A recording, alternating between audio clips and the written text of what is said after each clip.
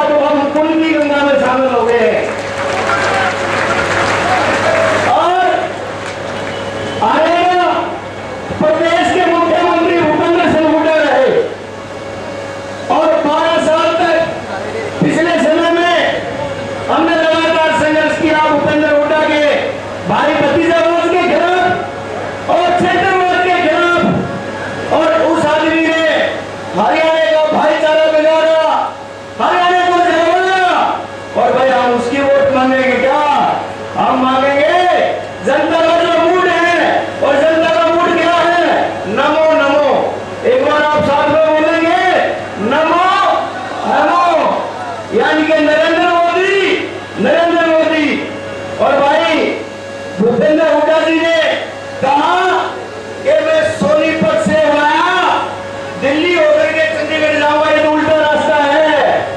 बिल्कुल उल्टा उल्टा रास्ता। अरे हमारे चंडीगढ़ तो हरियाणा के मुख्यमंत्री श्रीमान मनोहर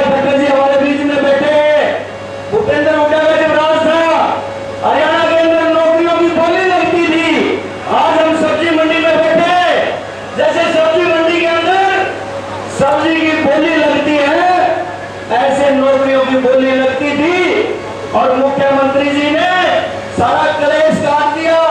नौकरियाँ मेरी